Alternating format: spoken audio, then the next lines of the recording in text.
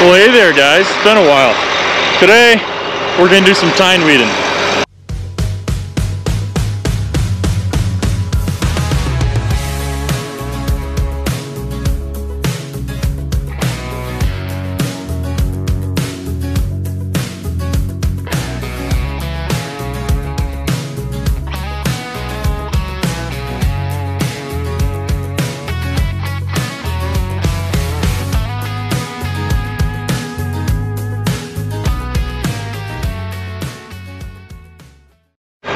So this is a very crucial first pass on our cornfields. Um, so this field was planted, oh boy, two, three days ago, two days ago. Um, it's a pretty big field. We got Lucas going up there in a tine weeder, and I'm gonna start in this south side. So these are 60 foot Hatzenbichler tine weeders. I know I've done videos over them, but if you're new to the channel, here's what they look like. Also, if you're new to the channel, my name is Thomas. Me and my family run a organic row crop farming something something farm. In one second, I'm gonna hop in the tractor. Anyway, like I was saying, my name is Thomas. Me and my family, we run a organic row crop farming operation in northwest Iowa. And we have been doing this for over 20 years and we grow corn, organic soybeans, and oats. Um, I hope you guys, if you're new to the channel, enjoy watching our videos, and don't forget to like and subscribe. And now that we got that out of the way, we can start tine weeding. Well, before we do that, we have to get this set up correctly.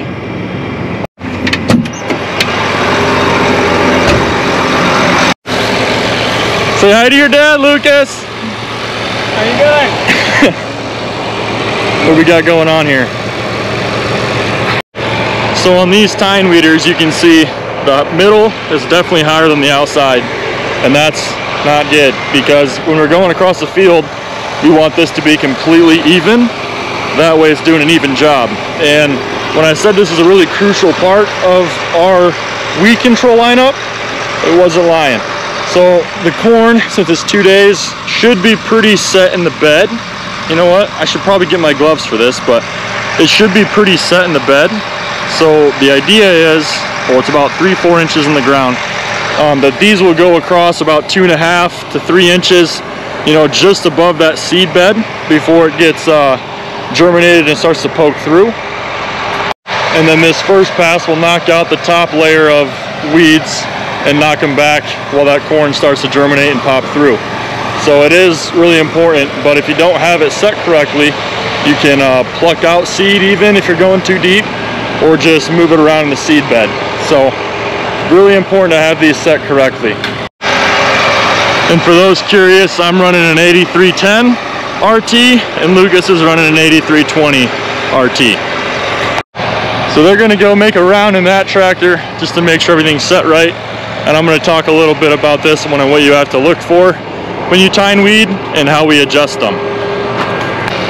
So first things first, I don't know how well you guys can see, but these tines can sometimes get, you know, caught behind another tine. So if they roll over, you hit a rock or something, I'll grab the camera real fast and show you guys what I'm doing. I crossed one because this sometimes happens in the field and it's kind of hard to see from the tractor cab but usually there'll be like a it'll be a darker line of dirt and you can tell something's wrong.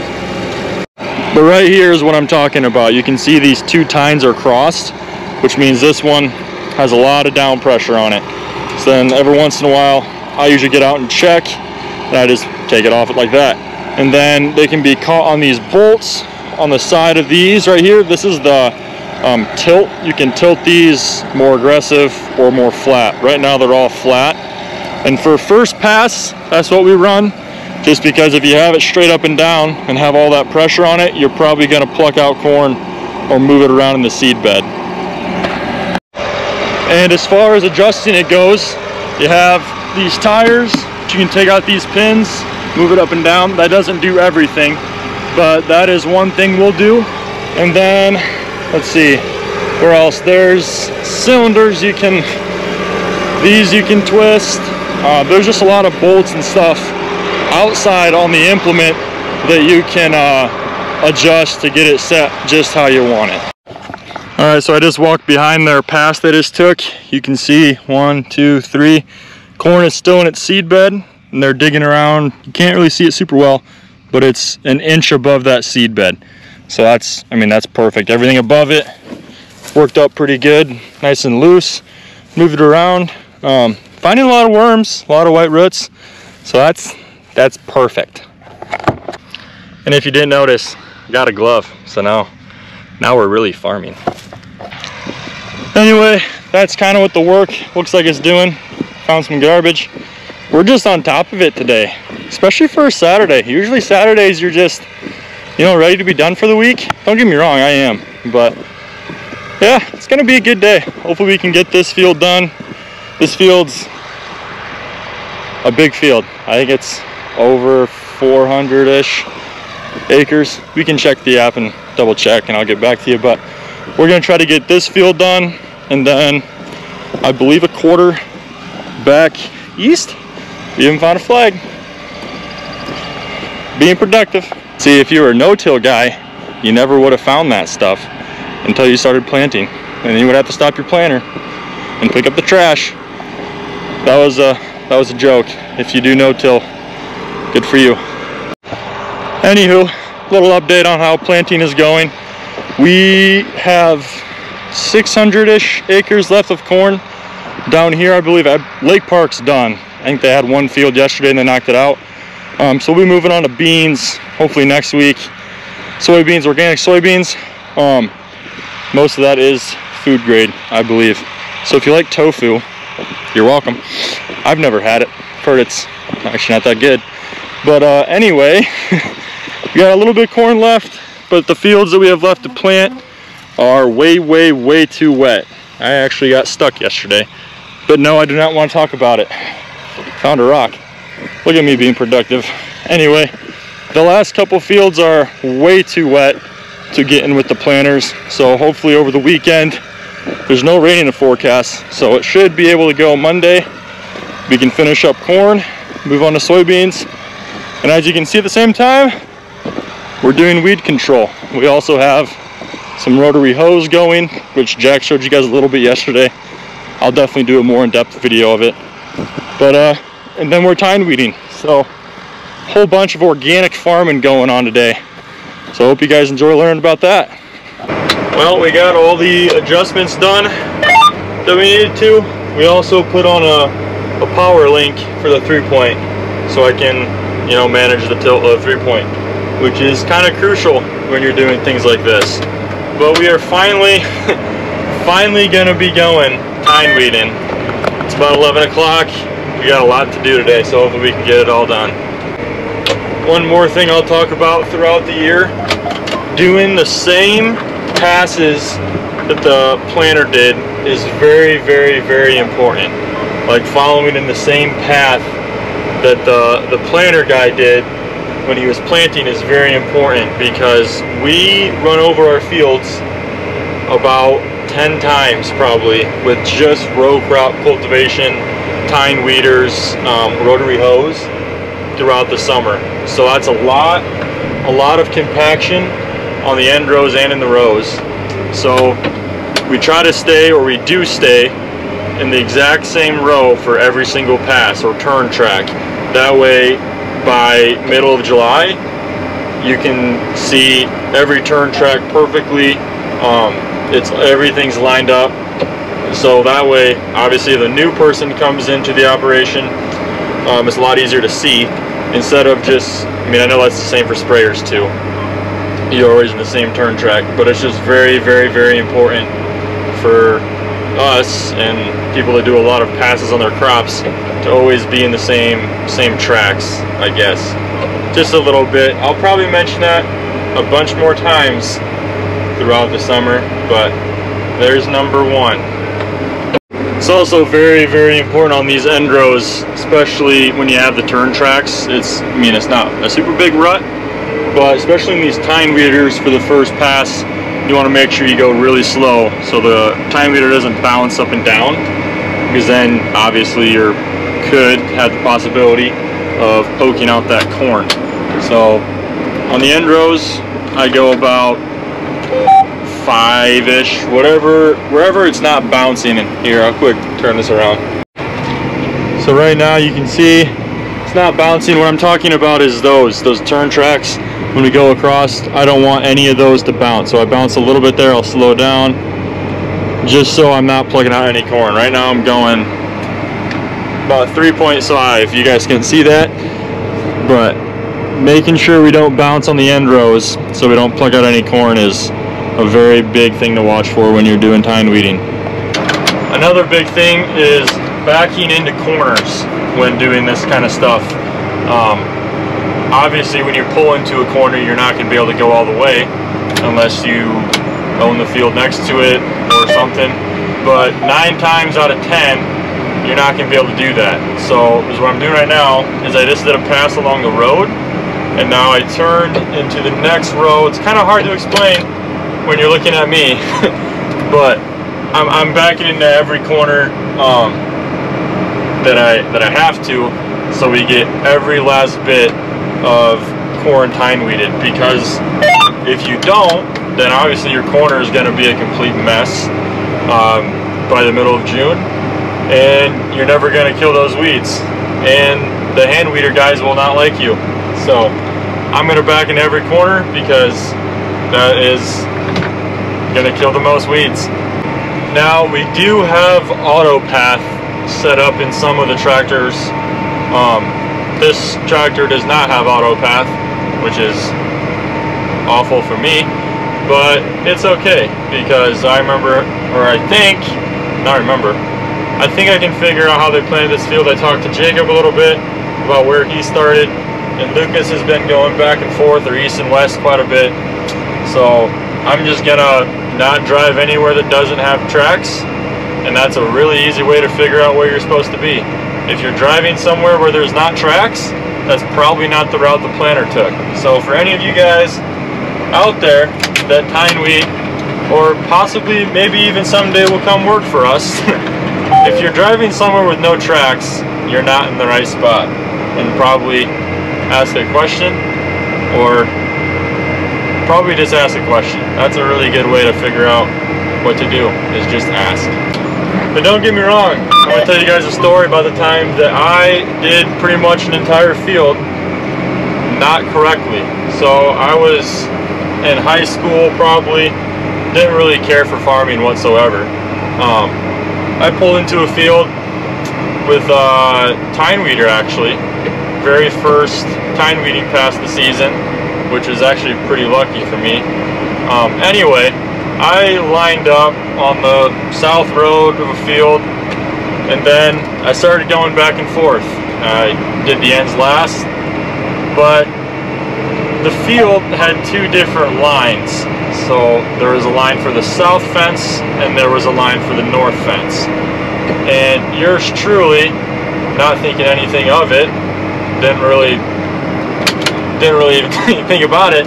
I did pretty much the entire field without switching the line, and but I mean maybe it was a, a round, so not the whole field. Luckily, my dad was driving past and told me, "Hey, should probably switch the line because it switches." So I'm not perfect, and I'll I'll I'll admit that and I have a lot of learning to do. But I figured, you know what? That's a great moment to look back on and say, I, I don't do everything right all the time either. So if we have a new employee or somebody that's learning, it's very, I, I try to have a lot of patience because I know I was like that when I was learning and I still am learning and I still make mistakes. I got stuck yesterday in a field cultivator. I know better than that. I shouldn't have went in the wet spot, but I did, and I got stuck. Luckily, I got out. But anyway, moral of the story is, you're never gonna be good enough at something that you can't learn or just get better at. So, whatever you do, if you farm, I promise you there's someone that knows more about it than you. Um, it's probably not going to be me. Jack might say he knows the most, which granted he, he does know quite a bit. And I've learned a lot from him and my brothers. But humble yourself, learn, learn something new, and if you are learning something, listen to the person that knows the most about it, and uh, never be too, I don't know, stuck up to ask questions about something if you are learning. Anyway, thank you for coming to my TED Talk. Let's get back to tine weeding. Or as you could say, the meat and potatoes of organic farming. Also, if you don't have one of these things, a heated lunchbox, I don't know what you're doing. If you farm or, or have a job where you don't have a microwave, which honestly, that'd be really nice in a tractor. John Deere, if you're watching this, you should put microwaves in your tractor. I mean, you already have massage chairs and fridges. I feel like the next logical step would be a microwave, but maybe I'm wrong. Bussin', or whatever the kids say nowadays. Anyway, I'm gonna eat and do some organic farming because that's what life is all about. Well, that's what having auto steer is all about. That would have sucked back in the day. Aha! You couldn't have eaten and drove. I mean, you probably could have put like a stick. I don't know if they even had sticks back in those days. I don't know. I'm lucky to have AutoTrac. That's all I know. uh, spinning goes slower because I think you were spinning too fast or you know what if, if you spin then you're just digging down okay. Sam got stuck. Check the Instagram. In this video post, there'll be a picture on the Instagram of, of Sam stuck. But, like I said before, everyone makes mistakes. I did it yesterday, but I, I will say I didn't have to be towed out, so I got that on him yet, but yeah, that's fun and exciting. Alrighty, I'm gonna hop out here, doing some end rows. Make sure I'm not plucking out any corn. Alright, we found a row here. We'll dig down, you can see we're taking off the top, know, moving on the top three, two and a half inches, give or take. Try to find some some corn. Hopefully I'm digging in the right spot. Otherwise I'm just gonna get my hands dirty for absolutely nothing, which is always fun. Here we go. There's one seed. It, it, we did get it planted in some moisture, so that that was really good. For the corn, oh, whenever I turn the camera on and dig for corn, I never find any. So we're gonna. Oh, there we go. There's one more. It's still in the seed bed, so that's good. We're not we're not moving on too much corn. And you can see right now I'm kind of one row away from the tracks. I'm gonna come out to the ends and make sure they're not digging up any corn. And still intact, so that's that's perfect.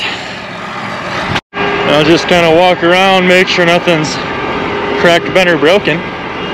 Because, you know, on this channel, we love to do that. Oh boy. If I'm being honest, blind tine weeding is probably one of my least, least favorite things to do in the field.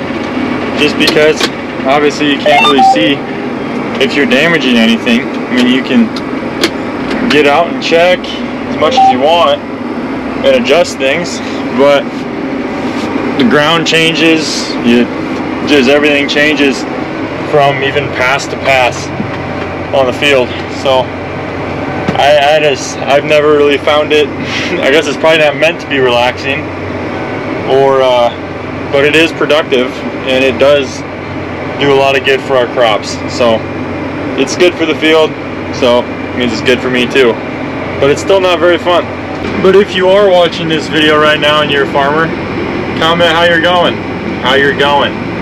Comment how your your farm year your year of farming. Planting. Comment how your planting's going. If you're done planting, how much you got left, how the weather is there, all that good stuff. Tell me in the comments how your farming of year, your farming's going. Getting really good at this whole whole YouTube thing. I guess Lucas didn't want to play chicken. Here's what I'm talking about on the end rows with the bouncing. You want to make sure it's not. You can see the planter kind of crisscrossed right there. So I gotta go. Only going about three and a half. Just making sure it doesn't bounce up and down and pluck out the corn. In other news, I just listened to the uh, the entire Moana soundtrack. So that's cool. When folding these these up, you gotta make sure you go real slow because all those, I'll hop out and show you guys, but it's really easy to rip off those hoses.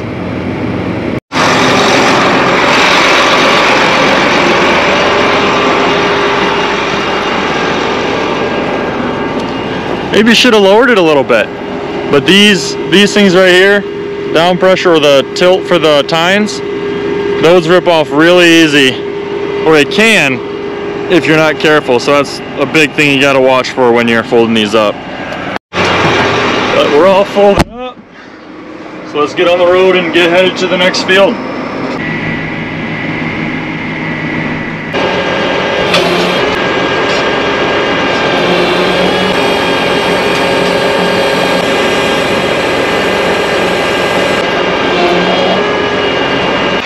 Well everybody, that is going to do it for today's video on the tine weeder. Hope you enjoyed today's video. If you did, leave a like. Uh, if you want to see more farming content like this and how we farm organically, subscribe. We will be posting a bunch of videos as the real organic farming aspect of our operation is starting with all the tine weeding, the rotary hoeing, and eventually row crop cultivating. So uh, don't know what we're to do next, but we'll catch you in the next one. Also, comment if you want to see something specifically. Okay.